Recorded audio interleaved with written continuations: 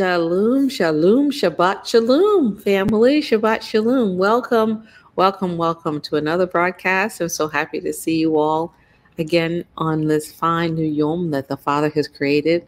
What a wonderful time to be alive. What a wonderful time to stand back and watch the Father show off and show out for his children. And he's going to do that for us.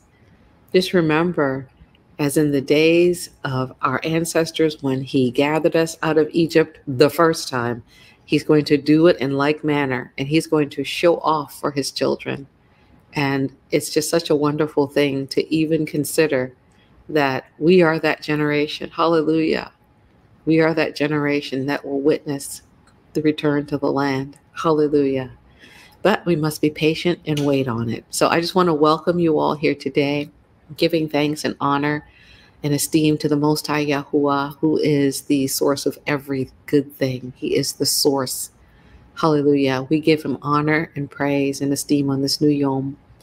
And we thank him for being with us today. We thank you, Father, for your grace and for your compassion on your children. And we thank you for sending your son to being that, for being and for sending him to be that atoning sacrifice for our nation. We love him. We love you. Thank you for your presence here today. Please guide every word. Let nothing be done through vainglory or strife. Let everything that's said here be straight from your mouth, dear Father. Have your way. Have your way. Hallelujah. Okay, so we're going to get started uh, for today. And so, so you're not going to be receiving too many um, direct instructions about preparing for the gathering, but you are going to be receiving instructions. And this is what the Father wants us to know at this time. So we're just going to go with it. So we're going to start off just by talking about how do you best, now note that word best, how do you best prepare for the second Exodus? How do you best prepare for it? How do you best prepare? Okay. So this is what the Father gave me. Okay. We're packing, we're getting all the stuff together, and we're joyful. We think about going home to Zion. Oh my gosh, our hearts are so filled with joy that we just can't even stand ourselves sometimes. We're just so happy when we think about it. And we're just getting everything right. In the fellowship, people are, you know, giving advice about things to survive the darkness and making sure that we've got all the supplies that we need and our bags, and all of these things are happening. All of these things are great. All of these things are wonderful. All of these things are needful. Okay. But there's a better way to prepare. Okay. Yes. Yes, sister. Hallelujah. Yes. Meditating on his word, fasting, praying, daily, daily repentance. Yes, those are wonderful things that we should be engaging in. And I'm so grateful that the Father has us doing these things. Hallelujah. Your bags have been packed for a couple months now. We're all waiting. Some people have been packed for years. for years. Hallelujah. Hallelujah. Thank you, Miss the Original. Isaiah 27 aligns with Isaiah 2 and Revelation 11. Ezekiel 38 aligns with Genesis 49 1. Hallelujah. Yes. Thank you. Thank you. Okay. Living in repentance and obedience. Hallelujah. Obedience. Absolutely. Absolutely. These things are all right. Thank you. We're going to talk specifically about the best way to do these things. But what your guys, what you guys are saying, it's not wrong. I love this. Hearken, hear and do. Hearken. Yes. Hallelujah. Repent and obey his word. Hallelujah. So you're going to see how this gets played out in the slides that's to come. You're going to see how what you all are saying in the chat corresponds to what the Father is telling us right now. Okay. So, like I said, you're getting ready, getting your passports ready. Some of you have been able to get your passports in record time, and you're like, wow, that's amazing. I'm so grateful to the Father for moving and causing these things to just fall into place. And you're just ready, and you're like, oh, we just want to get out of here. We just want to get out of here. Some of you are moving closer to the ports. You're moving uh, moving closer to those cruise ships. You're like, oh, we just can't can't wait. You're posting pictures of cruise ships and like, oh, look, they just came out with another cruise ship. It's even bigger than the last one. oh, things are falling into place. I can't wait. Oh, can't wait. Right. So we're just doing the things, right? You're doing all the things, as Sister Valisa says, the things and the things. We're just doing all the things. But what's the best way? What's the very best way to prepare for our homegoing? This is what we must do. We got to leave Babylon.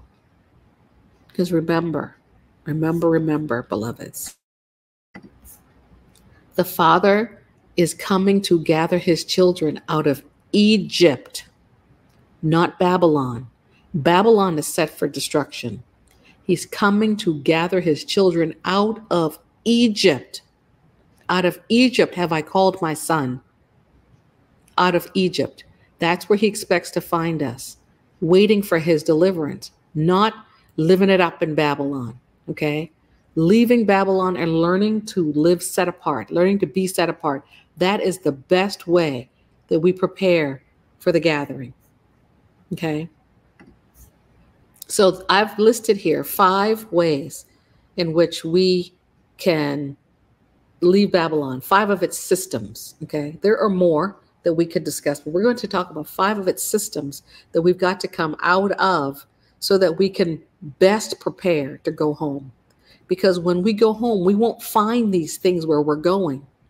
And if our hearts are knit together with these things and tied and tangled up in these things, we're going to struggle.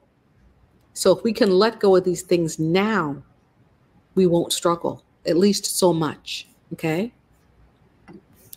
We're, we're going to talk about health. First and foremost, we're going to talk about health. So, do you think you're going to see these in the wilderness family? You think you're going to see one of these? What do you think? You think they're building this in the wilderness for us? Oh, I don't know. You you all tell me. Do you think that you're going to see this in the wilderness? Mm-mm. Nope. Mm-mm. Nope. yeah, you're not. You're not. You're not going to see this here. You know, when I think about the ways in which we have become so attached to the medical system of Babylon, we have become attached.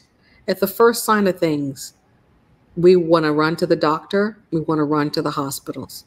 And I'm not saying that you shouldn't go. Okay. I'm, I mean, no condemnation to anyone. But what I'm saying is that there was a woman who was alive when Yahusha was on the earth, and she had an issue of blood. 18 years. And she spent all of her money at doctors. They had doctors even back then.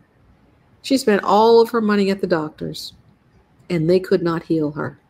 But oh, one touch, one touch of the hem of the garment of Yahushua HaMashiach, our kinsman redeemer, one touch, one interaction, and she was made whole. And when Yahusha was on the earth, he healed, he delivered, he cast out devils. And he told us, he said, healing is the children's bread. That's what he told us. Healing is the children's bread, but we have become dependent on this, on this, and on this. Their diagnostics, their tests, their diagnoses. We let them tell us what's wrong with us and what's right with us. And we take their word as if it was the word from the Father. If they say you're healthy, they go, "Oh, I'm healthy. The doc, my doctor said I'm healthy." If they tell you that you're sick, "Oh, the doctor said. What about what Yahuwah says? What about what Yahuwah says? We have to live by what he says and not any other man. What about your prescription medication? Hmm? Your yearly physicals? All of these things. You think we're going to see these things in the wilderness? we have to begin to wean ourselves from these things, okay? I am not telling you to stop taking your medication. I'm not telling you to stop going to your doctor.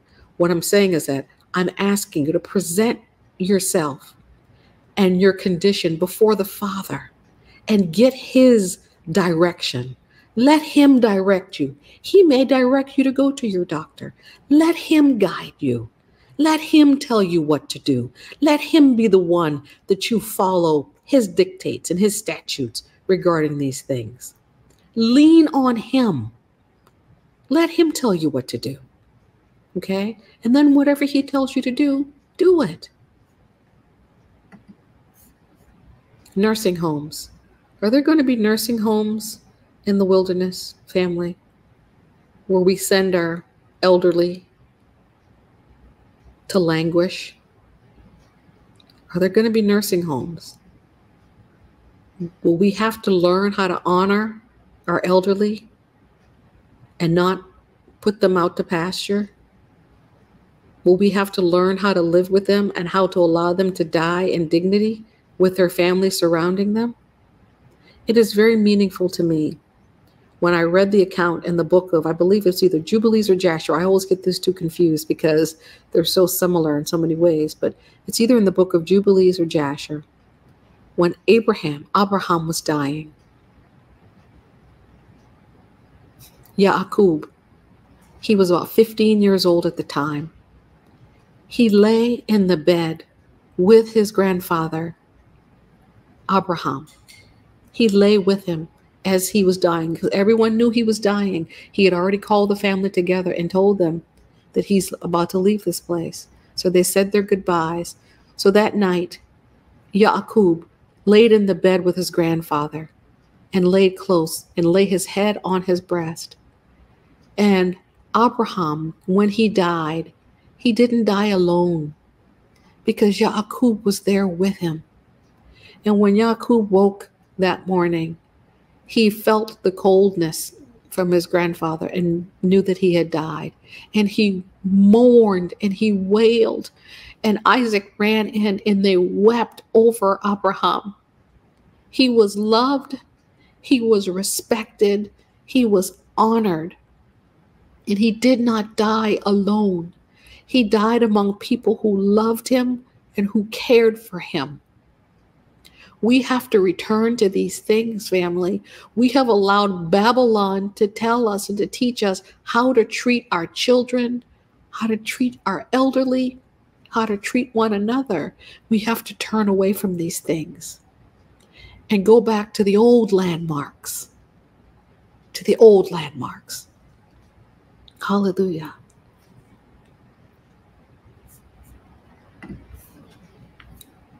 Do you think we're going to see this in the wilderness family?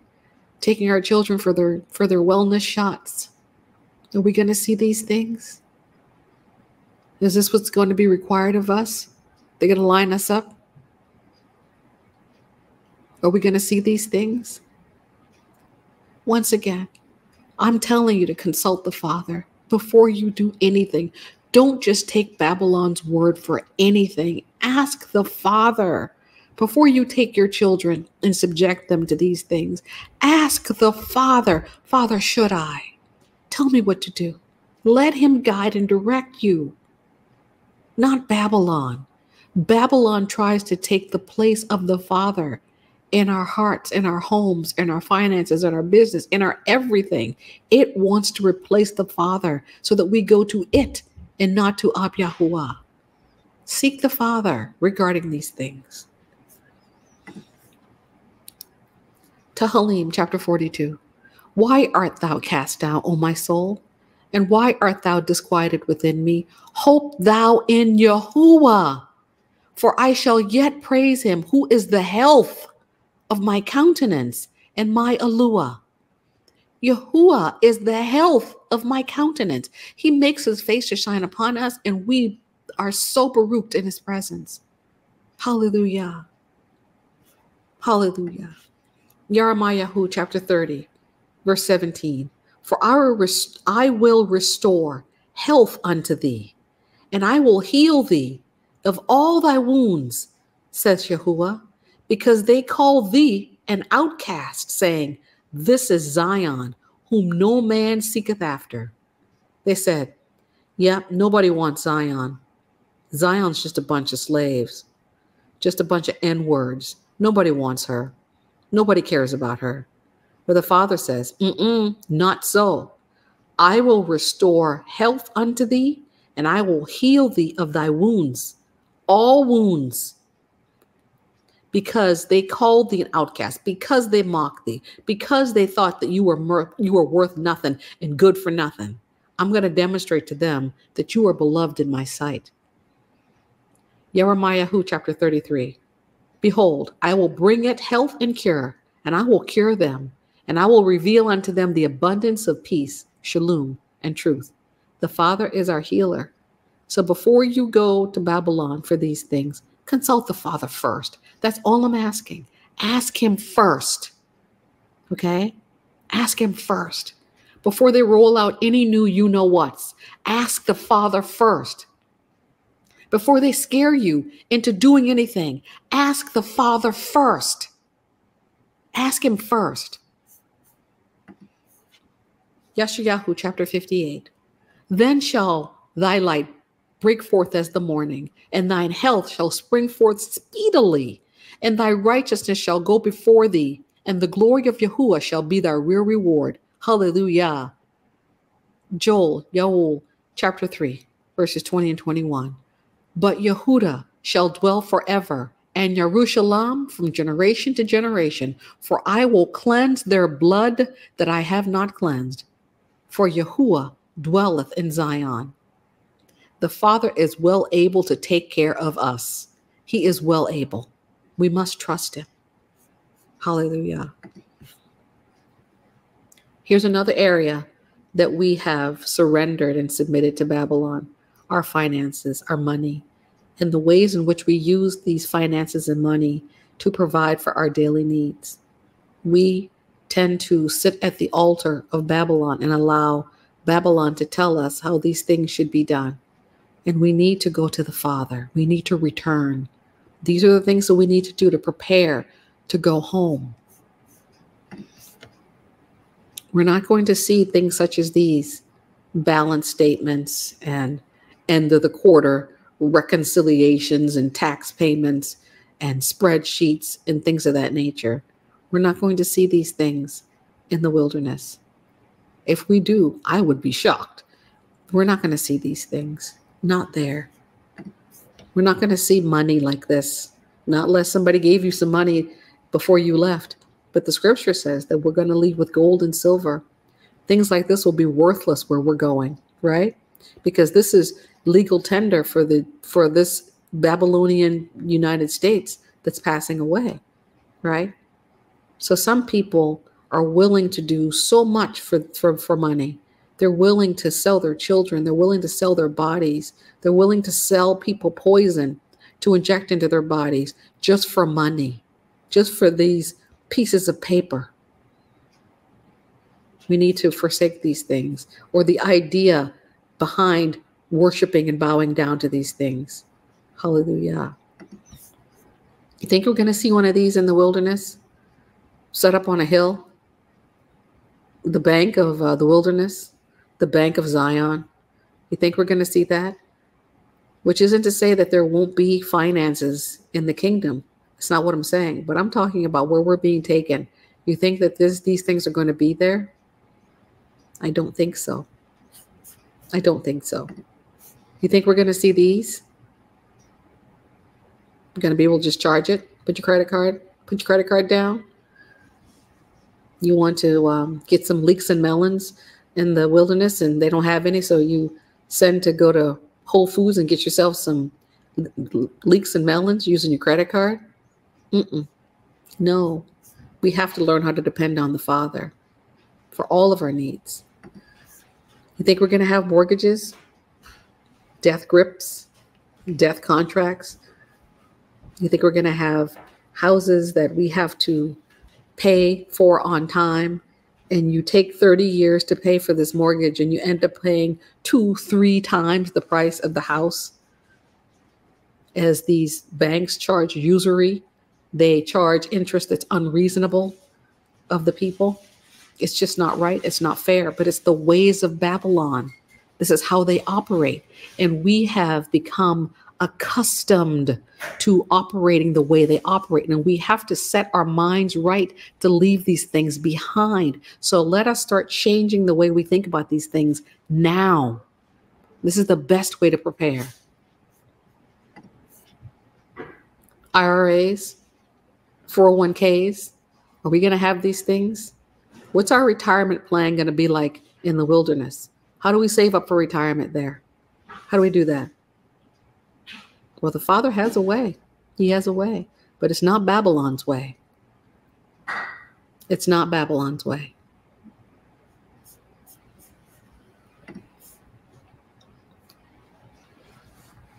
Your father's retirement plan is beautiful and wonderful.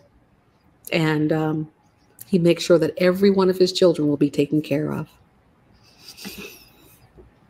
Matayahu, chapter 6. Lay not up for yourselves treasures on earth or upon the earth, where moth and rust doth corrupt, and where thieves break through and steal. But lay up for yourselves treasures in heaven, where neither moth nor rust doth corrupt, and where thieves do not break through nor steal. For where your treasure is, there your heart will be also. Hallelujah. Where your treasure is, there is your heart. So if we set our affection on things above, if we allow our treasure to be in heavenly places, we're not going to uh, follow the ways of Babylon. To, like I just saw what uh, what Dudatara posted about this dog, be waiting, waiting for a dog to do its business so that you can get your money back. We're not going to be so hung up on those things, right? We're not because we know where our where our help and where our provision comes from. It comes from Yahuwah. Acts chapter 2, verse 45.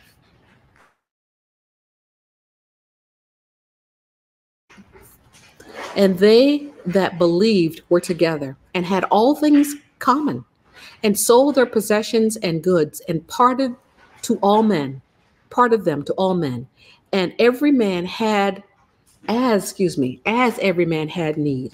And they, continuing daily with one accord in the temple and breaking bread from house to house, did eat their meat with gladness and singleness of heart. Whenever I read about the account in Acts and how our ancestors lived together during the times of Acts, oh my gosh they they loved each other. They lived in such harmony and accord with one another. If one had land they would sell the land and take the money and lay it at the apostles feet. And they made sure that everyone was taken care of. There was no need no no lack within within the community. There was no lack. We're going to live this way again. It's going to be great. It's going to be wonderful. But the ways of babylon is the exact opposite.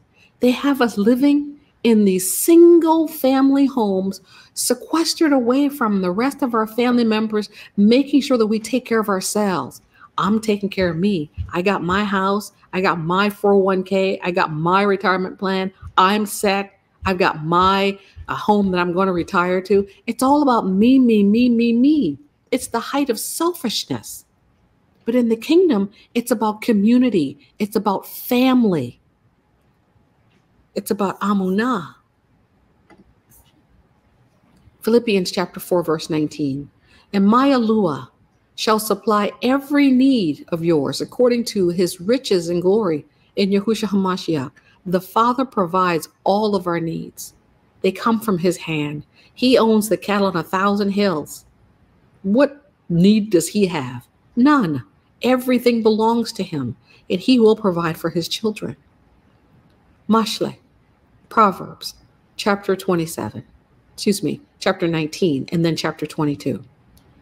Whoever is generous to the poor lends to Yahuwah. Pay attention to that. This is our retirement plan, family. This is how we plan for retirement. Whoever is generous to the poor lends to Yahuwah and he will repay him for his deeds. That is the best 401 plan, 401k plan I can think of. You give to someone who has a need out of your abundance, and then the Father gives to you. Proverbs chapter 22, verse 9. Whoever has a bountiful eye will be blessed, for he shares his bread with the poor. That's how we operate in the kingdom. We don't take all of our money and heap it up, keep it ourselves, and see our brothers and sisters in need and won't open up our heart of compassion to help them. That's not how it is in the kingdom. But in Babylon, that's exactly how it operates. That's exactly how it operates. You have people, family, who live in this world who are trillionaires, billionaires. They've got more money than they know what to do with. They could solve the problem of poverty overnight, but they won't do it because they lack the love. They lack the compassion. In the kingdom, those things will these things will not be lacking. They will be present in abundance. Hallelujah. Yes, Sister Christina, this place is so backwards. It is so backwards. It really is. Hallelujah. Devarim, chapter 15, verse 11. For there will never cease to be poor in the land. Therefore, I command you, you shall open wide your hand to your brother, to the needy, and to the poor in your land. And when we do this, when we operate by this command, all of our needs are met. We don't have to go to the Babylonian workhouses and let them make us their slaves so that we can meet our needs. We meet each other's needs, and then the Father meets the needs of the whole community. Abarim, chapter 13, verse 5. Keep your life free from the love of money and be content with what you have, for he has said, I will never leave you nor forsake you. Hallelujah. I'm going to read that again. That's such an encouragement. Keep your life free from the love of money and be content with what you have, for he, Yahuwah, has said, I will never leave you nor forsake you. What a promise. What a promise. Hallelujah. Wow. Matayahu, chapter 6, verse 24. No man can serve two masters, for either he will hate the one and love the other, or he will be devoted to the one and despise the other. You cannot serve Yahuwah and money, mammon. You cannot. And so, what they do in Babylon, family, is they make you bow at the altar of finances. People are willing to do all sorts of things for a dollar. A dollar. Hallelujah.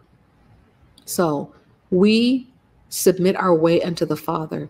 And when we have something in our hand, we share with those who are around us. And then the Father makes sure that we have when we need. That's how it works in the kingdom. Education. Number three, education. So, how have we allowed Babylon to determine how we educate ourselves, our children, so on and so forth? Here's this cute little one here. He's in preschool. Okay. He's in preschool. He's probably he probably got to preschool about six o'clock, seven o'clock that morning. And they do have a daycare component component after preschool. And depending upon his age, he's probably in a daycare type of preschool. And he'll probably be there until five or six o'clock at night. He's spending all day in the hands and under the influence of strangers who will shape him, who will be the ones that he looks to in the formative years of his life as he is growing and becoming a young man. They have the majority of time with him during his waking hours because if he gets home about six o'clock, he's going to eat dinner, and by eight, he's probably going to be in bed just to wake up the next morning and do it all over again.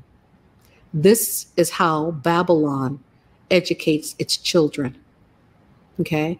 It's as if these children are being given over into the hands of the state so that they could be indoctrinated and trained in the ways of Babylon. He could pick up bad habits at this preschool. He could pick up diseases at this preschool. He could be negatively influenced at this preschool. These are the ways of Babylon. We have to be willing to leave these things behind when the Father tells us to let them go. And then we have school. We have schools. We educate our children in the public schools, and they make them free for us. And they're free for a reason. We spoke last night. We said, Beware of people who come bearing gifts. If somebody's giving you something for free and you know that they're, they're wicked, really question why they're giving it to you. We were hearing um, Messenger speak about how they were lining up people of color to receive the treatment. You come, get in line first. You have to be aware when people are saying, no, no, no, you first, when it's always their whole lives been me first, me first. When it's suddenly you first, you first, you should run, not walk. You should run. Run away from that. So we're being given an opportunity to have our children educated for free, right? Hmm, what's in it for them? What's in it for them? They have become indoctrination stations. If you want to control a population, if you want to control a generation, you gain influence with the youth, with the young. You tell them what to think, how to think. You tell them what to believe in, and you remove from them any semblance of morality and righteousness and the scriptures. You create a situation where they can't pray, they can't read the scriptures, and all they receive is secular humanism and ideas of an open system with space and evolution and all manner of things that are contrived in the wicked minds of men. This is what has been given to us as free education.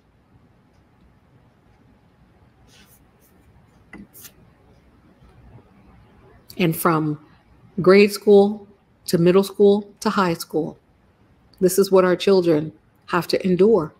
They're being told how to think, how to feel. They're not being taught how to think, but they're being taught what to think. There's a huge difference. There's a huge difference. This is, this is what's happening. We have to be ready to leave these things behind because there's not going to be a high school of the wilderness. There's not going to be an intermediate school of the wilderness. We won't find these things here. Okay? We won't find them there. We have to be ready to let these things go. And then we grad and then excuse me, and then we graduate to the universities. Now we're in the big the big time. Now they teach you all manner of things of ideologies and philosophies of men. And there are many people who grew up Christian, right? They grew up Christian and then they go to university and they lose any semblance of faith that they had because these places are indoctrination stations. They tell you what to think, not how to think. Hallelujah. But you've graduated and you've got a piece of paper to show for it. You've got a piece of paper. And if you got a psychology degree, that piece of paper is useless. Talking from somebody who knows. You got a psychology degree, that degree ain't worth the paper it's written on because what can you do with a psychology degree? You didn't learn how to do anything. You didn't they didn't teach you how to think. They taught you what to think. And then you graduate with a psychology degree and you got nothing. You can't get a job with a psychology degree. They require you to go on and get a master's or a doctorate. So what can you do with a psychology degree? All it is is a piece of paper and you go and you work for marshall fields. Right you go and you get into the system and you work. Or maybe you've got a degree in a really nice area. Maybe you got a degree in engineering and maybe you can actually do something with that degree. Maybe they actually taught you how to do something. And then you go and you find your dream job. Oh, I just found my dream job oh, I love it. I feel fulfilled here. The people are nice. They've got a great benefits plan. They've got a really nice 401k. They match my 401k. And the people treat me real good. It's a good environment. They have casual Fridays, so I can dress down on Fridays. They have company picnics. And sometimes they even allow me to use the company car. Oh, I got it made. I got it made. I'm trapped in this job for the rest of my life if they'll keep me and not fire me. But I've got it made because I'm now determining to myself that this is how I will make my living. I will provide for my own needs using this job that Babylon gave me. Okay. Will there be dream jobs such as these in the wilderness? Likely not. There will be things that we will do. There will be things that the Father will give us to do but they will be things that build up his kingdom and not another person's kingdom. The jobs that Babylon gives us in Babylon's kingdom builds up Babylon, not our kingdom. We have to be willing to step away from these things when the Father tells us to do so.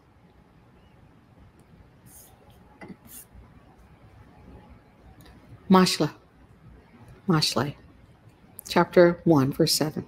The fear of Yahuwah is the beginning of knowledge. Fools despise wisdom and instruction.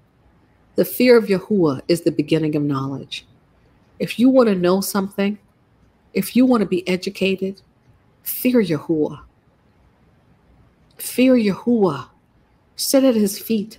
Let him teach you through his son, who is wisdom. Then you'll know something. Then we'll know something. Proverbs chapter 22, verse 6 Train up a child in the way he should go, and even when he is old, he will not depart from it. This is how we are to teach and instruct our children in the ways of Ab Yahuwah.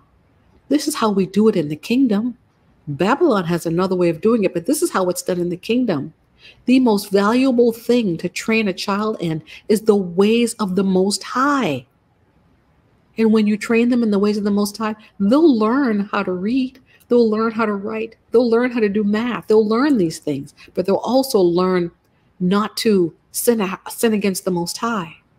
This is how it's done in the kingdom. And we have to prepare ourselves for these things. We have to prepare. Hallelujah.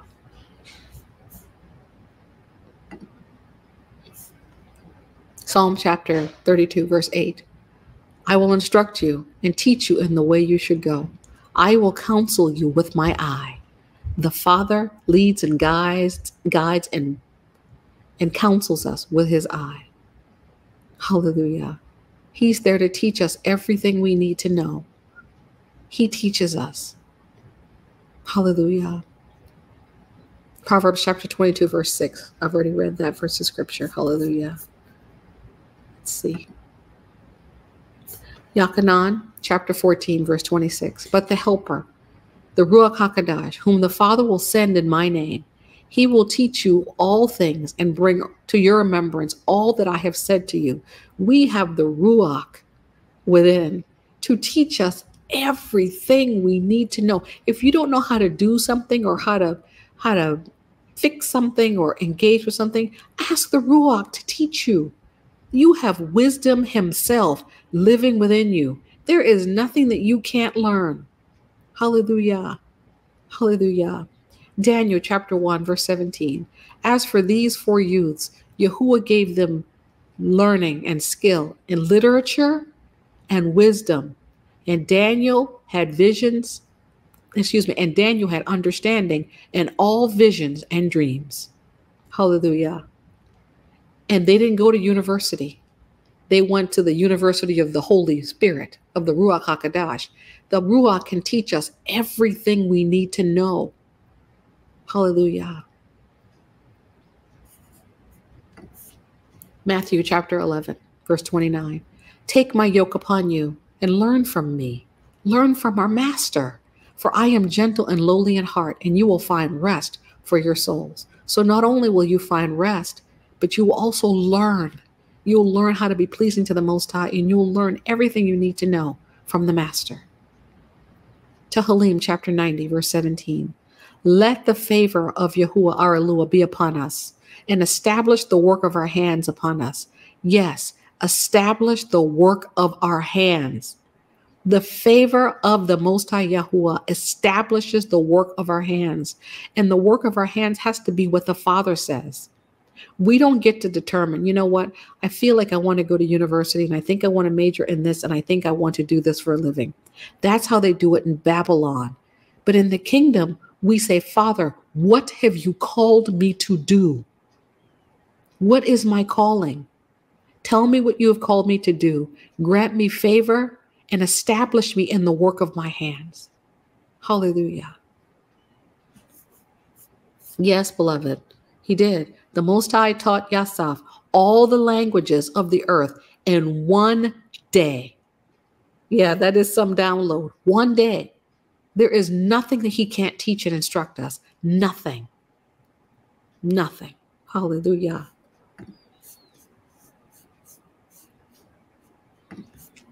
So now we're going to talk about food and nutrition. I'm going to take a sip. I'll be right back, family.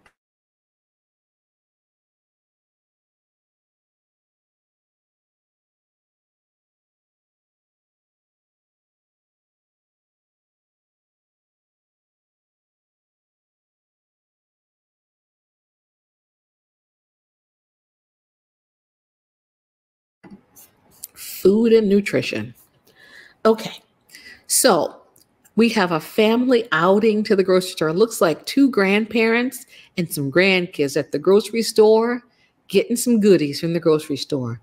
So, family, are we going to see Winn Dixie? And around where I live, we have a store called Piggly Wiggly. are we going to see Winn Dixie, Harris Teeter, Piggly Wiggly, Publix, um, I don't know some of the grocery stores out west, Wegmans, the A and P. Are we going to see these things in the wilderness? Are we going to see your favorite grocery store, Whole Foods? Are we going to see these in the wilderness? You're going to just go get your shopping cart and shop the wilderness like this? no. Saul says, Saul says, no, we will go to the fields. We will get our food nice and fresh. it will have some taste. It will actually have some taste to it. Sister Deborah says, hope not. hope not. yeah, Kroger, Fresh Market, Sprouts. oh my goodness. Yes, let's force the plans from Yahuwah. Hallelujah. Yep, Publix, that's my store of choice. Hallelujah.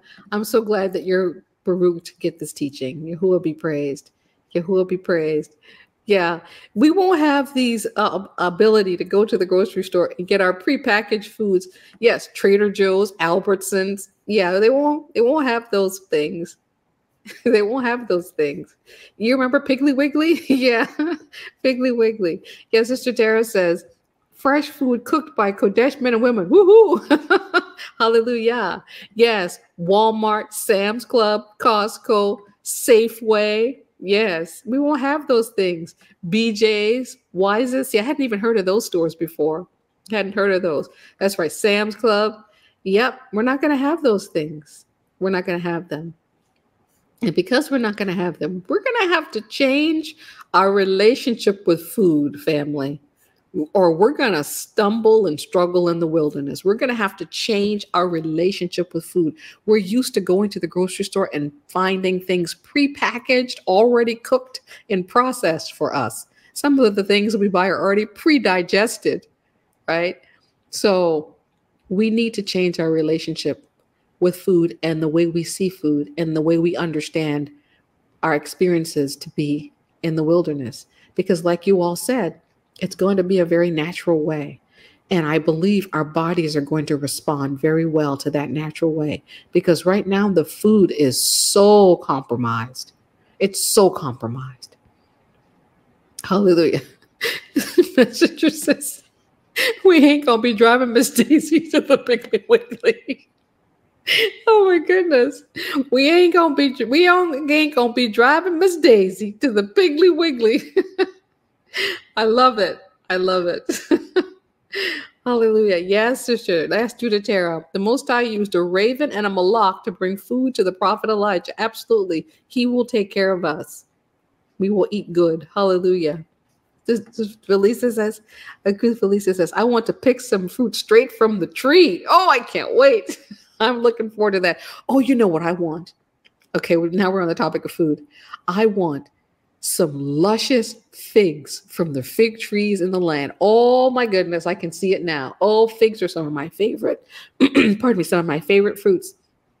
I can't wait. Hallelujah.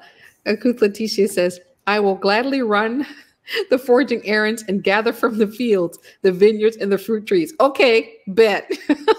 That's your responsibility. We can let you do that. I'll sit back and let you bring me some grapes and you can bring me some figs. Oh, and I'll take some olives too, please.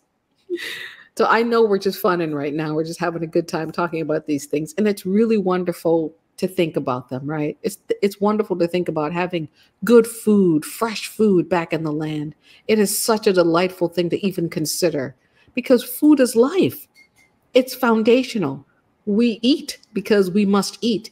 And the food we eat, we want it to be good and good for us. And the food in this world, it's just. Akut Leticia shared something regarding apples this week. And someone else posted a picture, I guess, of grapes that they purchased from the store already having, you know, mold on it. You know, I bought some sweet potatoes from Costco a couple weeks back. Oh my gosh it looked as if those sweet potatoes had been beaten in the streets, dragged through the mud, and then put in a bag. And I'm like, what in the world? It was delivered to me, so I didn't get to pick them out. I was like, oh my gosh, uh uh So I was like, no, you're going to have to give me a refund for these sweet potatoes because these things look like they have seen better days. But that's the quality of food we're seeing. And it's going to get worse and worse and worse as the supply dries up. And yes, the supply is drying up because the Father said he's going to bring famine, right? He said it. And if he said it's going to happen, it's going to happen.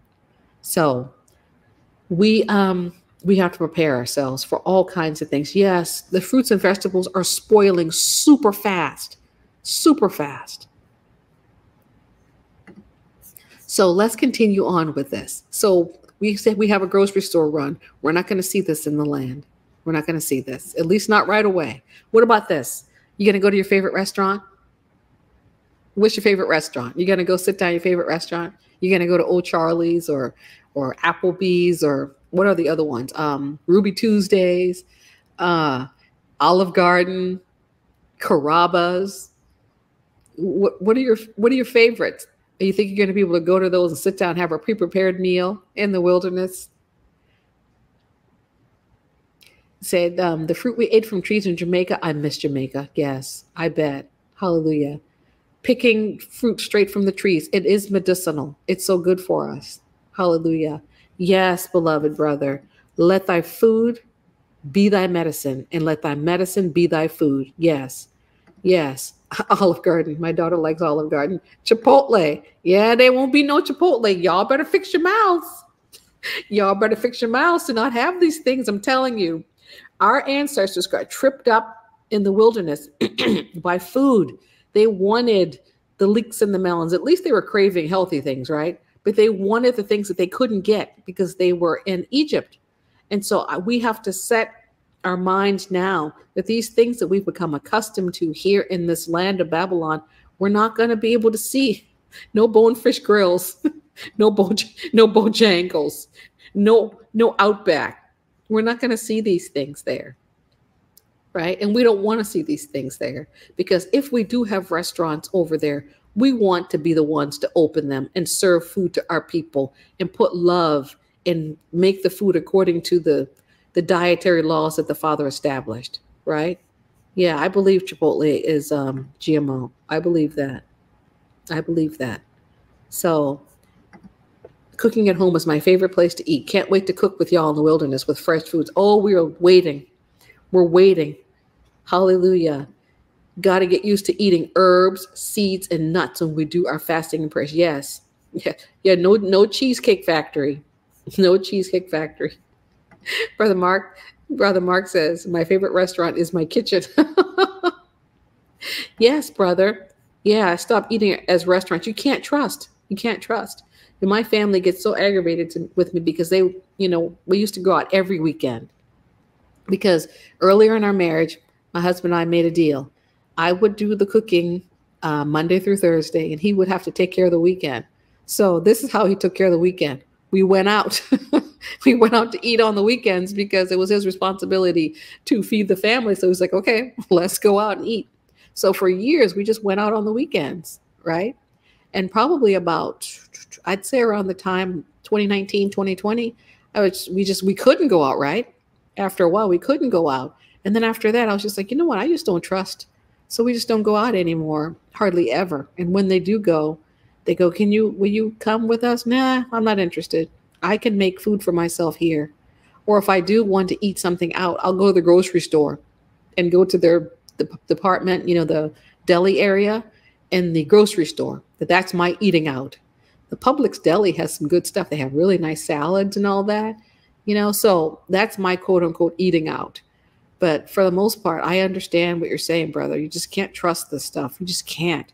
You really can't. Yes, and making good food at home. Oh my gosh. Making good food. Somebody says, my new favorite will be Leticia's organic. Hallelujah. yes, Leticia's organics. Ooh, you might be onto something here. Yes, it's so good to make your own food. Oh my gosh.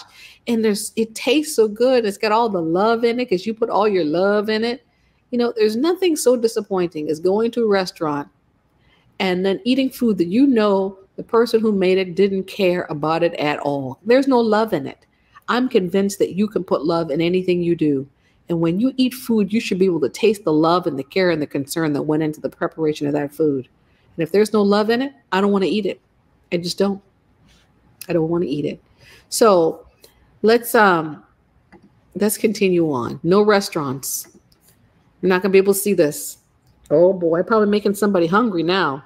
It's lunchtime, probably making y'all hungry.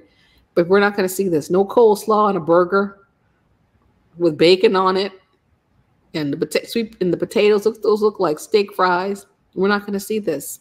Not unless you somehow try to find a way to make it. We're not to see this.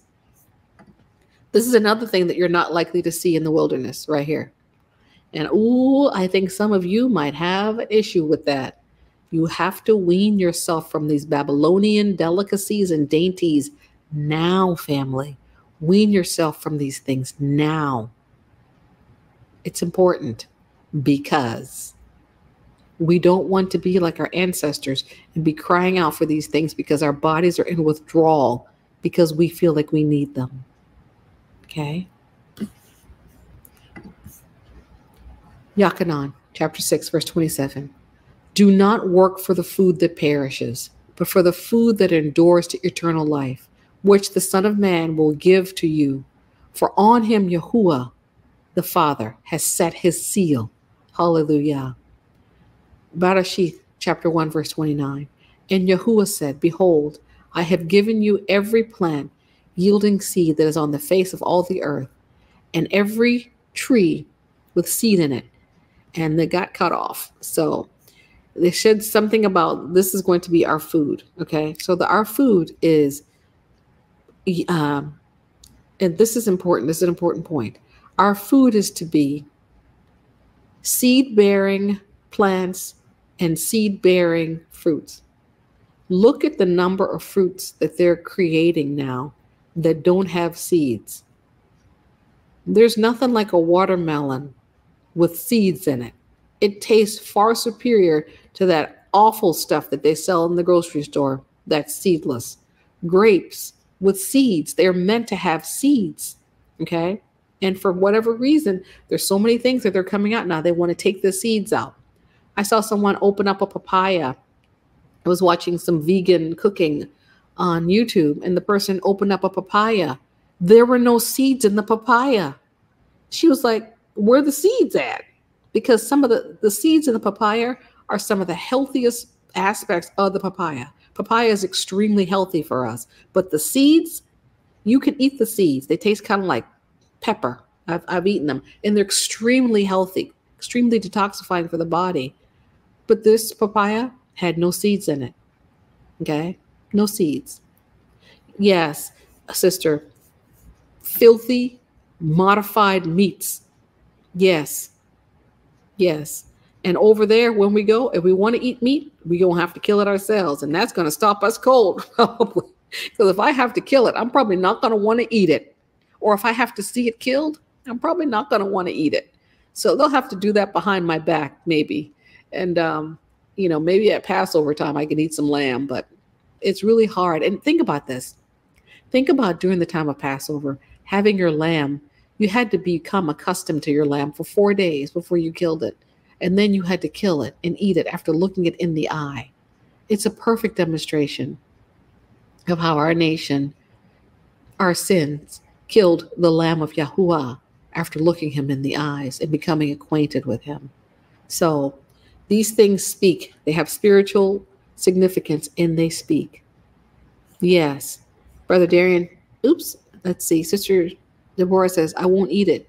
So therefore, my fruits are limited. My family and friends think I'm crazy. That's why I have seeds. That's why I save seeds. I hear you. I hear you. If you had to raise it, you probably don't want to kill it. The relationship with it. That's right. That's right. You don't want to kill it because you raised it. And that's why, like I said a moment ago, that killing of the lamb during Passover was so meaningful because you had a relationship with this lamb and you had to kill it.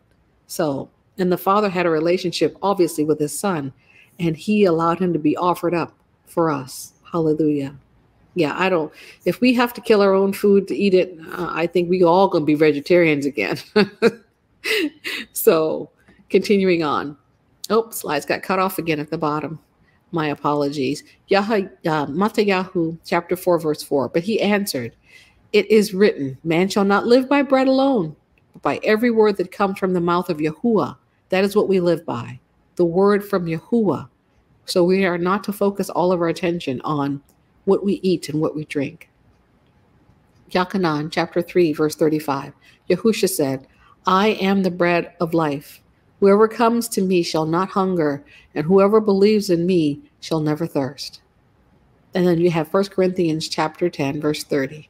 And this has been cut off. So whatever you eat or drink, or whatever you do, do it all for the glory of Yahuwah. Hallelujah. Hallelujah. Matthew, Matayahu chapter 6, verse 25. Therefore I tell you, do not be anxious about your life, what you will eat or what you will drink, nor about your body, what you will put on. Is not life more than food, and the body more than clothing?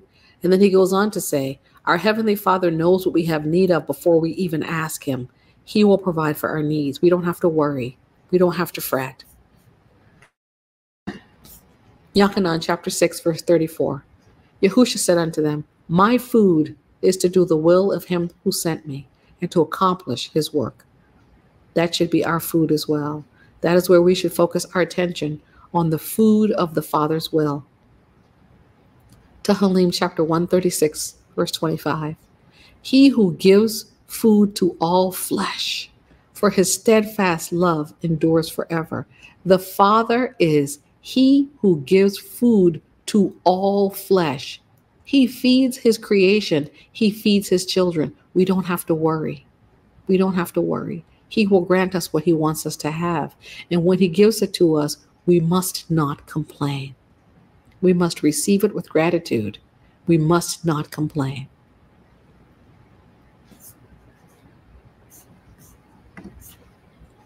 Okay, so this is the final category that we're going to be talking about today in terms of our leaving of Babylon in preparation for our homegoing. The final topic that we're going to be talking about today is entertainment. Oh, how we have allowed Babylon to entertain us. And in their television programming, they're programming us and telling us what and how to think. So if we manage to have the ability to think for ourselves after going through these indoctrination stations in the school, with the programming that they have on television and at the movies, we're further being programmed and told what to think and how to think. How to think the way they want us to think that is. So let's look at the images on the screen here. We see a television with streaming abilities where you can stream from YouTube or Netflix or what's that? Vudu or whatever that is, Pandora, all of these streaming services where you're you're never you you're always, I should say, connected to some device that's going to show you something. I remember back in the old days when we would when we would experience what we call TV turning off. That's what we would say. Oh, the TV done turned off. You know what that means? It was the end of that day's broadcast. They would play um, uh, the the national anthem.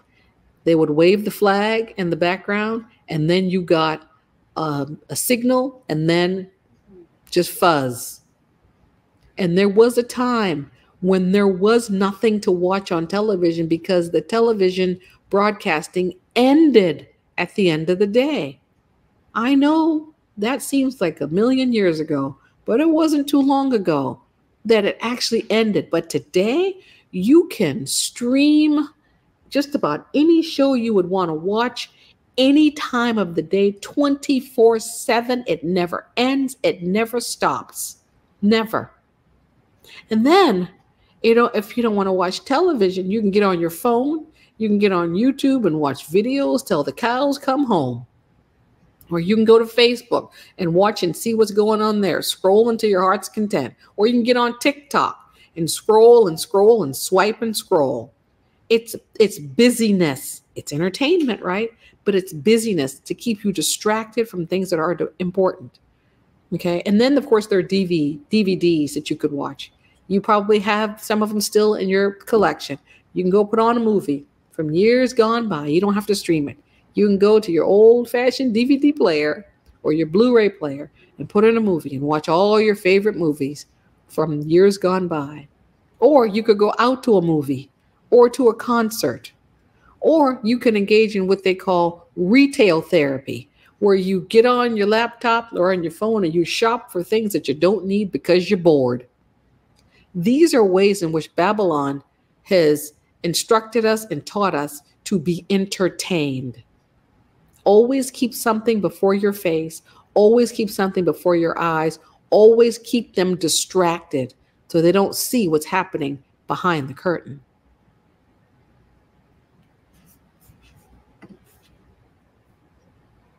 These devices that they call smartphones, how were they smart? Maybe the smartness comes in the fact that they're dumbing us down.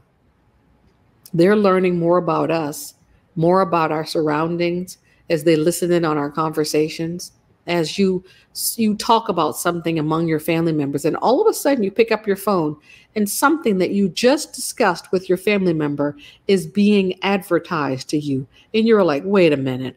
I just talked about that with my family member and now they're offering this thing to me how did they know indeed beloved how did they know how did they know okay these are devices infiltrate and they track and they trace and they collect information. And we have them in our homes and our bedrooms. They're everywhere. We won't leave home without them. Okay. So who's really smart? I guess it is the phone because it's certainly not us. We have to be willing to take these things and throw them into the ocean when the time comes. When the time comes, we have to be ready to part ourselves from these things, from these devices. Okay. No, you really can't turn the phones off. You can't because even when they're off, they're on. Now, this image didn't come through very well, but these are supposed to be video game controllers. Oh, can we talk about the video games? Oh, family. Especially with regard to the younger generation. They are so fixated on these video games. It's sun up to sunset and even later into the wee hours of the morning playing these video games that go on and on and on and on. And I mean, there are instances of people, for example, in Japan, who have experienced uh, strokes or other neurological disorders from the flashing lights of the screen, from playing video games for hours upon hours upon hours on end. It is an addiction. It's an addiction among the young, particularly. And particularly, it has been an addiction among boys and, and young men. But now, even females are getting caught up in the video games, playing the video games, wanting to play the video games. There's nothing wrong with wanting to have a little fun for yourself, but our fun has to be holy fun. It has to be something that draws us closer to the Most High. And the fun the entertainment that Babylon provides is that which uh, that which is attuned to and consistent with the agenda of Babylon. Yes, family, Babylon has an agenda. Babylon's agenda is your downfall. Babylon's agenda is to erase all knowledge of the Most High from the minds of its populace. Babylon's agenda is to elevate Hasatan. That's its agenda. And when we partake of its ways, that's the agenda that we're taking up. And that's why the Father's saying, Come out of her, my people. She's marked for destruction. Come out of her. And now We've got virtual reality video games where you can immerse yourself in the experience as if you're really there and you're completely divorced from reality as you enter into this virtual world where what you're seeing behind that clunky thing on your eyes is more real to you than the people who may be in the room with you. It's a problem. It's a problem. It's an addiction. And we've got to be prepared to let these things go now. We're not going to find these things in the wilderness. And thank the Most High that we won't. Thank the Most High.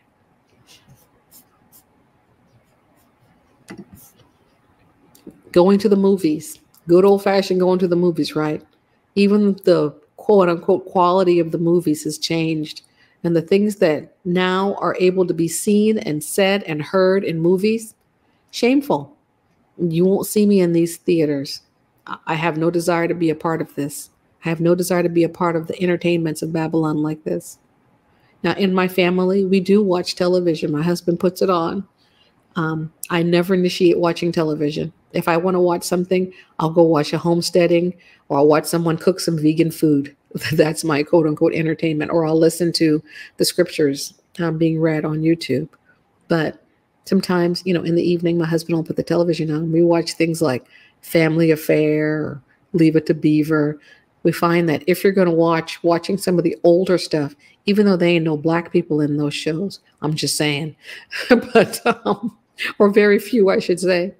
Um, but if we're going to watch those are the things, Little House on the Prairie, those things that aren't so damaging to the to the psyche, um, because there was a time where things were a little more moral back then. But for the most part today, oh my goodness, the television shows the, the children are disrespectful to their parents. They portray men as being weak and sniveling. The women rule the household. It's, it's just awful. It's just awful. There's all kind of innuendos, you know, gender confusion. It's nothing that we want to be a part of. So if you're going to engage in movies and televisions, do not put anything before your eyes that you know is open sin. If you see it, if it's sin, turn it off. Because if you're watching it, then you're making a covenant with it with your eyes. Okay? Don't watch people make out on the screen. Don't do that.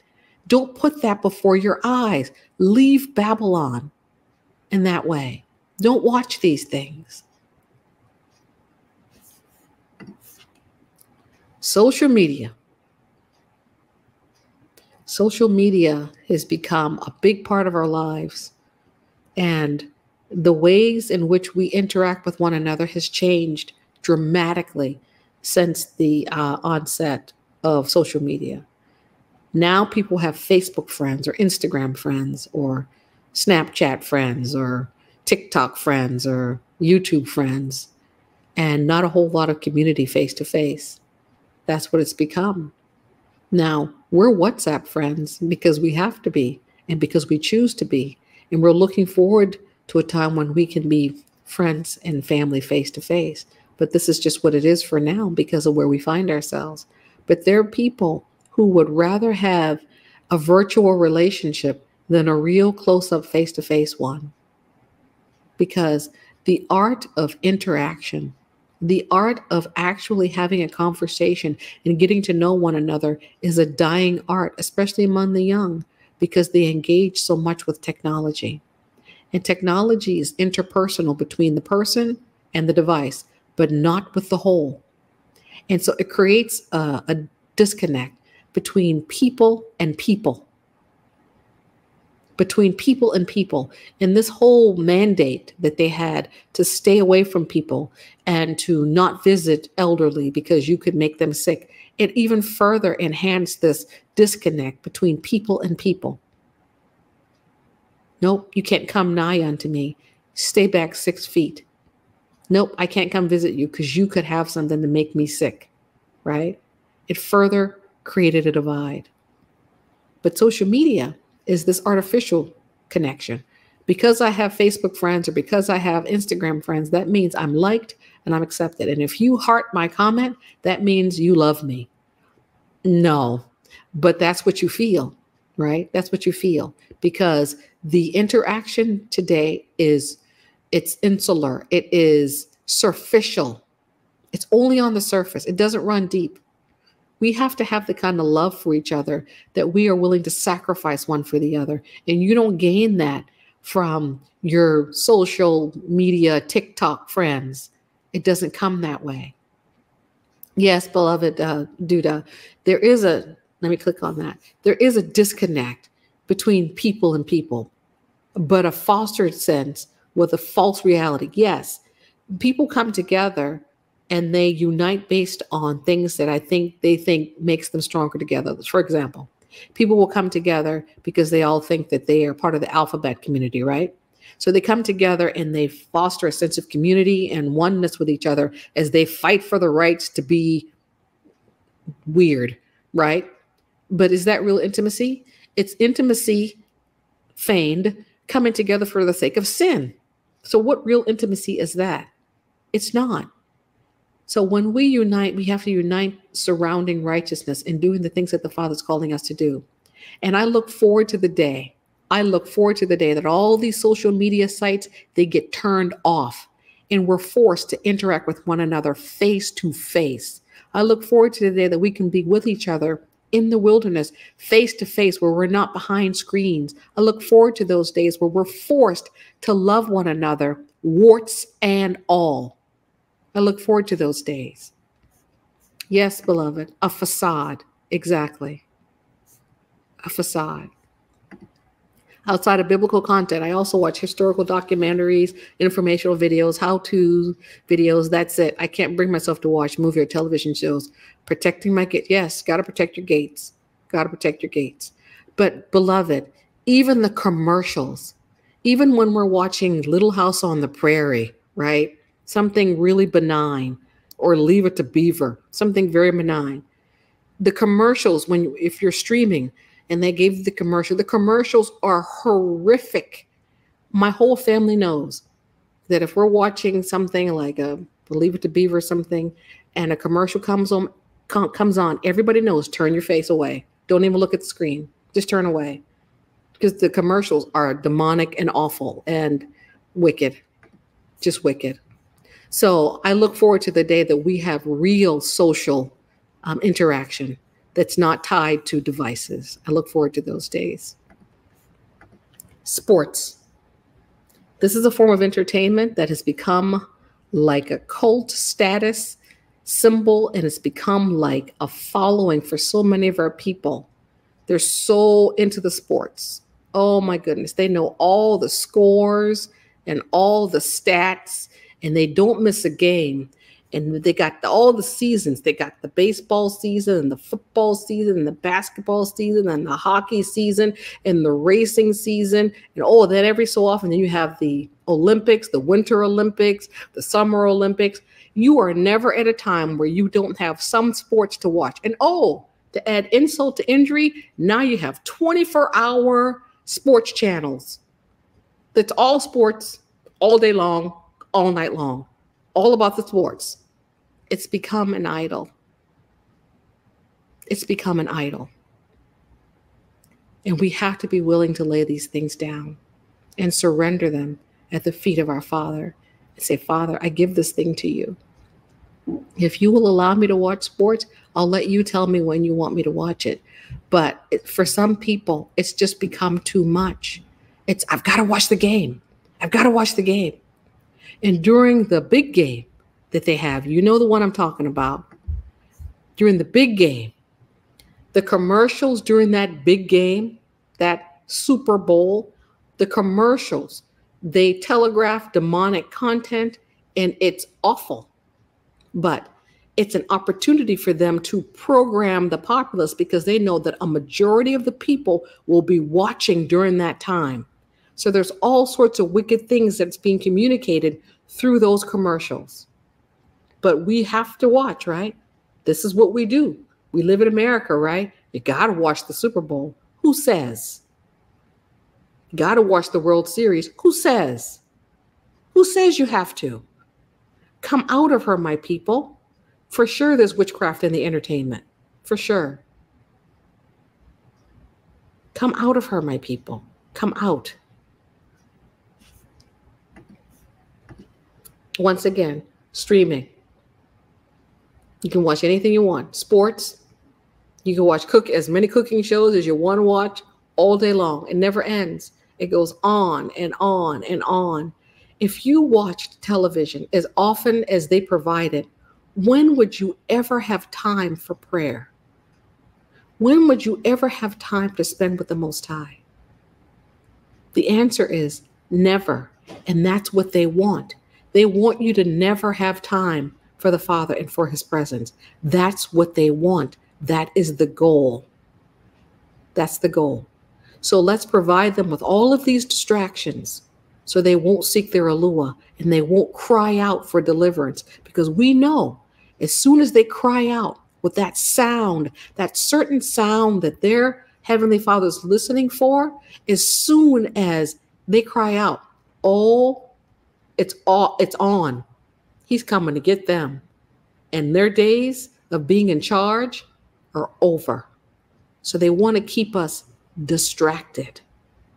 Push back, family. Push back. Push back against that.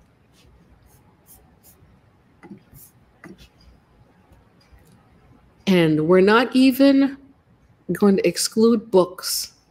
There are certain books, family, that you should not read. I don't care if it's the latest craze. There are certain books you should not read. If there is content in the book that is sinful, you should not be placing these things in front of your eyes. I don't care how popular it is. I don't care. I don't care if you love Harry Potter. You shouldn't. You should not. It's demonic. There are certain things that you should not be placing before your eyes. Romance novels. You should not be reading those. Women, daughters of Zion, you should not be reading those. There's no good in there. There's no good in it. Let it go. Even the children. There's some books right now that the children are reading that's got all this fantasy witchcraft stuff in it. And that's some ways that are subtle and some ways that are very overt, influencing the children to question their identity, their um, their genetic identity, I'm going to say, because the father made male and female, and you know that when you're born what you are. But they have involved in these books these characters who have questionable genders. Then the children learn to question, or they get involved in witchcraft or things that make them be make them begin to think about things in terms of, hmm, I wonder if you know they begin to wonder. I wonder what would happen if they tried to cast a spell these things are gateway. They are gateway advances into the minds of our children. Be careful the books you let your children read. Be careful. Okay? Be careful what you're allowing them to place in front of their eyes. Because remember, family, please, we're in Babylon. Babylon has an agenda. We would be foolish to not realize that Babylon has an agenda, and it's not for our betterment at all. Oh my gosh. Oh my goodness. Yes. Can you imagine what would happen when it's time for Yahusha to come gather us and we tell him, hold on, Yahusha, it will soon be halftime. Oh my goodness. Oh my goodness. Oh, the thought of it. The thought of it. Whew. Oh my word. Yes, absolutely. They're pushing that in the books. Yes. And not all good books are good to read because they infiltrate your minds and influence your thought processes. Absolutely right. Absolutely right. Even the toys, even the toys. Listen, family, understand the time that we're in. There is an agenda afoot. You've got to come out of her. Don't participate. Come out. Come out of her. Hallelujah. Get how to books for your children and teach them skills. Yes, like cooking and building and gardening and animal husbandry and sewing. Yes, that's a good thing for them to read. Absolutely right.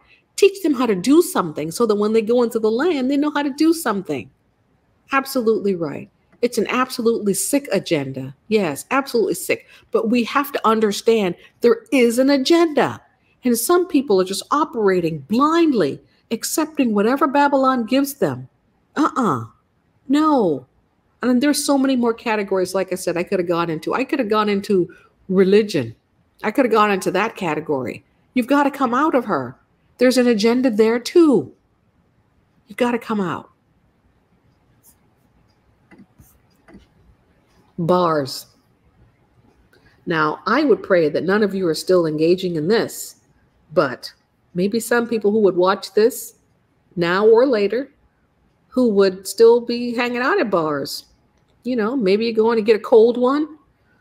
Mm-mm. I don't think we should be engaging in that way.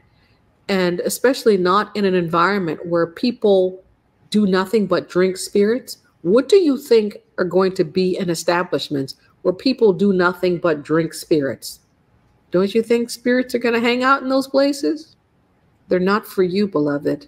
They're not for you. We are called to be set apart. Come out of these places and don't engage in the ways of the wicked one and the wicked ones. We should not be partaking and going to bars and things of that nature. It's not for us. And I know you all remember back in the day going to the clubs. And I pray that that's a distant memory for you all. I pray that that wouldn't even be once named among you as becometh saints, that you would hang out at all or even think about hanging out at the clubs.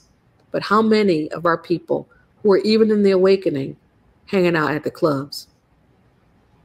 I'm even I'm, I'm I'm sad to even think about the numbers of people there could be.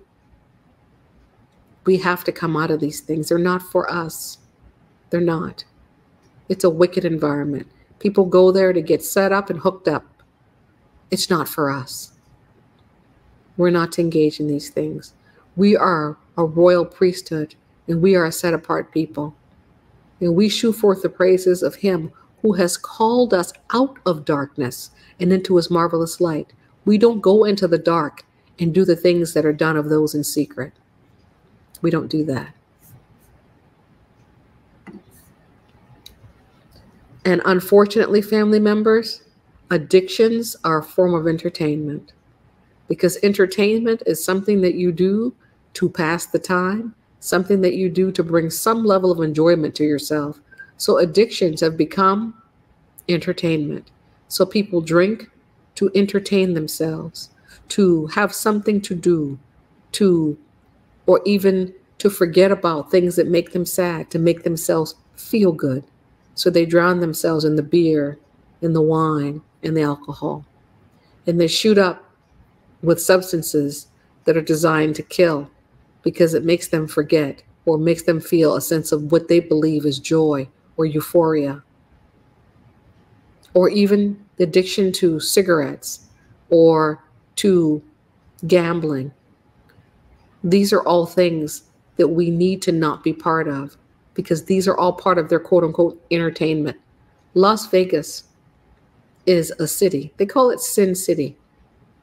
You can see just about every sin demonstrated in Las Vegas.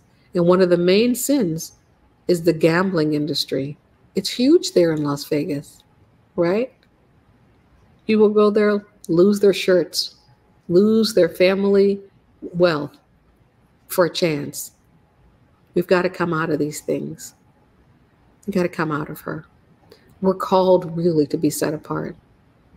And that is what the Father wants from us. Because remember, He's waiting for us to remember him, and he's waiting for us to obey his voice and keep his commandments. That's what he wants from us. So Babylon can't be a part of our present. It has to be in our rearview mirror. James chapter 1 verse 27. Religion that is pure and undefiled before Yahuwah the Father is this to visit orphans and widows in their affliction, and to keep oneself unstained, unspotted from this world. This is what we are to do. We are to set our minds and our affection on the things of the Most High, looking to see how we can be a help and a support to the brethren and to the sisters, and also to keep yourself out of the world. These entertainments that Babylon has, they're not for us because they spot our garments. They're designed to spot and stain the garments. They're not for us. Ephesians chapter 5. Look carefully then how you walk, not as unwise, but as wise, making the best use of the time, because the days are evil. Therefore, do not be foolish, but understand what the will of Yahuwah is. Don't be foolish during this time. Understand what the Father is expecting from us. We're not to waste time. A lot of these entertainments that we just discussed, they're time wasters, huge time wasters, time that you're not going to get back. We're not going to get it back. That time is gone. So let us use our time wisely. And the best use of our time is that which draws us closer to the Most High because He is our life. He is our life through His Son. Hallelujah. And when Yahusha appears, we do not want to hear, Depart from me. I never knew you. We don't want to hear that. So we have to invest in what's important now. Hallelujah. Acts chapter 17, verse 11. Now, these Berean Yahudim were more noble than those in Thessalonica. They received the word with all eagerness, examining the scriptures daily to see if these things were so. Oh, may we all be like the Bereans, the Berean Yahudim. May we all be like them. They were constantly in the scriptures. They would hear something and then would go to the scriptures to confirm what they heard. Hallelujah. Hallelujah. If our people were like the Bereans today, the teaching that I did about Yahusha and his identity as a Malak would not have been thrown and rejected and treated as if it was anathema. If we were true Bereans, we would have taken those things to the scripture and seen for ourselves and sought the Father whether or not these things be so. But not today. Mm-mm. We pick and choose what we want to believe.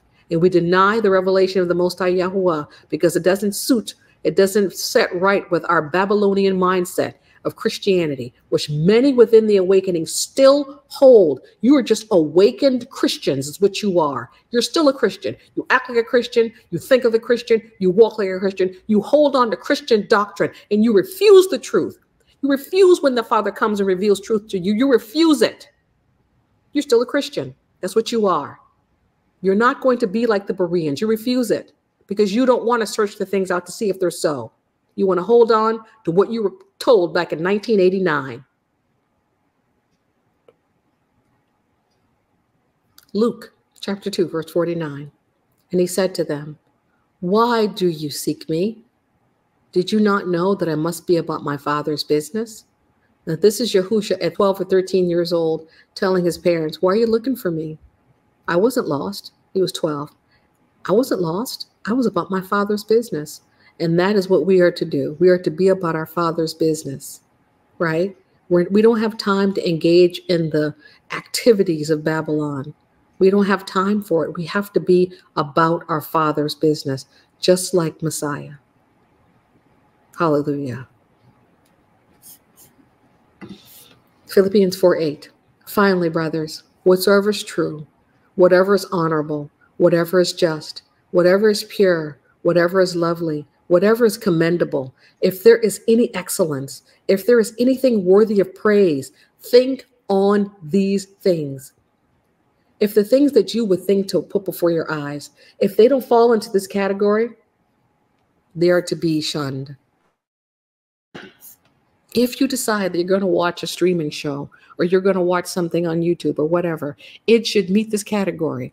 It should be true, honorable, just, pure, lovely, commendable, excellent, worthy of praise. It should be something that teaches you, instructs you, causes you to draw nearer to the Father, causes you to draw nearer to your fellow Hebrews, causes you to learn something or to grow in some way. This should be the criteria. Okay. And if we set this as a criteria, it'll be very clear to us the things that we are to avoid and the things that we are to um, receive into our minds. into our line of sight. Ephesians 5:11 Take no part in the unfruitful works of darkness, but instead expose them. That is our job.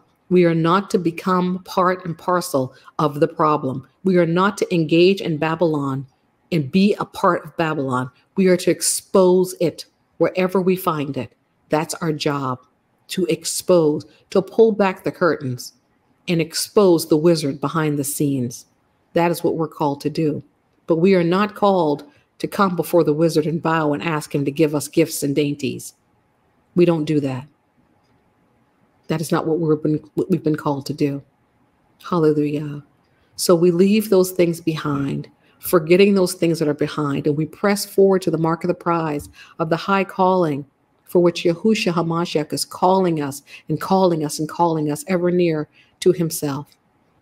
So, what must we do to prepare, to best prepare to, to leave this place? We have to leave Babylon. If we don't leave Babylon in our hearts and our minds, we're going to take a chance of not being gathered, first of all. And if you are, you're going to struggle. You're going to struggle because Babylon will have so taken hold of your mind, you're not going to be comfortable in an environment where Babylon does not hold sway or does not have control. So, the best thing we can do beyond fasting and praying and acting in obedience toward the Father, the best thing we can do is to leave Babylon and fast and pray and act in obedience toward the Father. So I just wanted to make a note at the end here. Most of the scripture verses taken today were presented in either the English Standard Version or the King James Version. Okay. We're all looking forward to going home. I know we are. I feel it. I feel the sense of, I don't want to say desperation, but I want to say I just really am anxious to leave this place. But the Father will gather us when the ones who are going to be saved are ready and not before. He knows when that timing is. We don't. And we can conjecture and we can guess, but He's the only one who knows for sure, right? He's the only one who knows. But when we are gathered, we've been told that we will be taken to a place of safety, a place of rest, a place where we can lay our heads down, we can lay our burdens down, we can eat good food and drink clean water, and we can be fed from the Father's hand as He teaches and instructs us about things within even our nation, within how we operate that we may not be privy to. Maybe the way we keep Shabbat is not 100% accurate, and He'll teach us those things.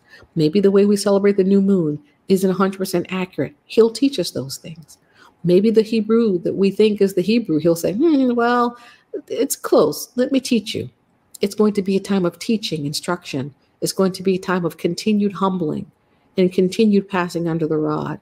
The Father has to prepare us for the kingdom. And that's what happens in the wilderness.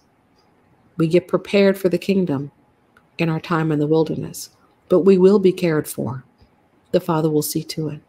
So, though we are anxious for it, we have to practice patience. We have to wait for the promise of the Father. It will come. And when it comes, it will not tarry, but we must wait for it. And we must patiently wait for the promise of the Father. Hallelujah. All praises to the Most High. Hallelujah. Hallelujah. Um, the picture, it's very beautiful and it really reminds me of the land, the mountains, the Mount Zion, and all the animals. Because remember, where our homeland is, all the animals are there most of them, I should say, are represented in the land. And it's just a beautiful place, a land flowing with milk and honey. And this is the land the Father has promised us, and He's going to return us to this land. But we got to exercise a little bit of patience. When we're ready, we're going to be out of here. He's not going to let us rot on the vine. So when we're ready, He will bring us out, regardless of who's ready. And if it's just a remnant of us, then He'll take the ones who are ready. Okay? So he says, when we're ready, he'll come for us and not a moment before. That's what he's telling us through our circumstances. When he's ready, and when we're ready, I should say, then it will happen. But here's the barakah. It will happen. It will happen because it's been written, it's been spoken, and the Father doesn't lie. He doesn't lie. Hallelujah. Well, I thank you all for joining me today for this lesson and um, for your attentiveness, for your comments. And it's it's just so nice, such a really wonderful ruach in the in the lives. It's just a really nice ruach, and I really appreciate that so much. So prepare your garments, prepare your minds, prepare your houses, prepare your bug out bags, but get out of Babylon. Get out of Babylon and don't be a part of Babylon's agenda because it is unyali. It does not honor the Father. It just doesn't. It honors someone else. So we want to give all honor and esteem to our Father, and we want to give additional honor to our kinsman redeemer, Yahushua HaMashiach, who is so worthy. He's so worthy. So thank you all for joining me today and for this teaching. And I pray that it's something that baruched you and you could see how the Father has made all of these precious promises to us. And he will not break his promises. He cannot, because he's not a man that he should lie, nor the Son of Man that he should repent. It isn't it interesting, family, that the Father tells us who he is. Listen to this again. The Father said, I am not a man. That's what he said. He said, I am not a man that I should lie. I am not the Son of Man. Didn't he tell us who he was or who he wasn't? But oftentimes I find that our people, we don't read the scriptures and actually believe what the scriptures say. We read it and we go, yeah, but, yeah, but maybe he didn't really mean that. I know he said he's not the Son of Man, but he didn't really mean that. Right? But he did. He meant what he said. He doesn't lie. Okay. So, shalom and shalom to you all and Anea Habata. And I pray that the Most High Yahuwah would baruch and keep you. And I pray that he would make his face to shine upon you and be gracious unto you. And that he would lift up his countenance upon you and grant you shalom as you leave the wicked ways of Babylon Babylon is destined for destruction. And the Father is so loving to us, telling us to come out of her and all of her systems and all her ways of being, because those things and those ways of being and those ways of doing are marked for judgment. So may we adopt the ways of the kingdom and the ways of the Most High. May we allow Yahushua HaMashiach, who is wisdom, to be our teacher and to teach us and lead us in the way that we are to go. Hallelujah. And when we are old, we will not depart from it. Hallelujah. Shalom, shalom, family. Shalom, shalom.